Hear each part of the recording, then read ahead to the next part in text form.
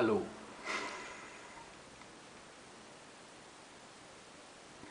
Keiner hat jemals die Erleuchtung erlangt.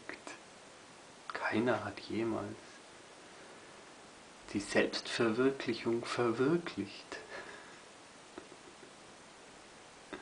Das, was selbst ist, ist immer verwirklicht und wird nicht irgendwann durch bestimmte autobiografische Erlebnisse, äh, was auch immer.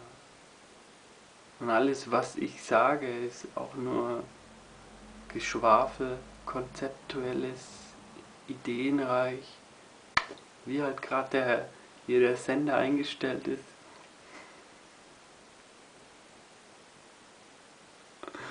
Es ist doch eine Freude zu sehen. Keiner hat es geschafft. Kein Jesus, kein Buddha, kein Ramana Maharshi, kein Tony Parsons oder wer auch immer. Aber wenn ich denen zuhöre, sagen die auch, kein Buddha hat je die Welt betreten und wenn du ihn auf deinem Weg triffst, töte ihn.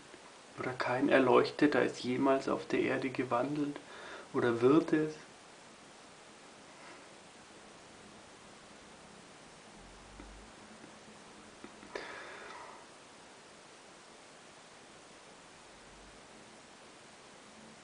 Die Wahrnehmung.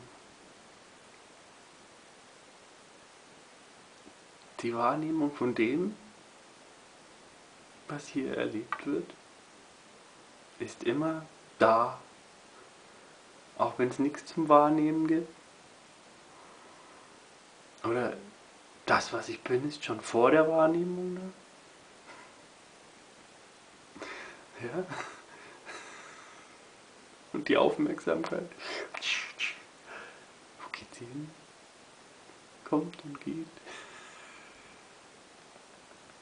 Was war das?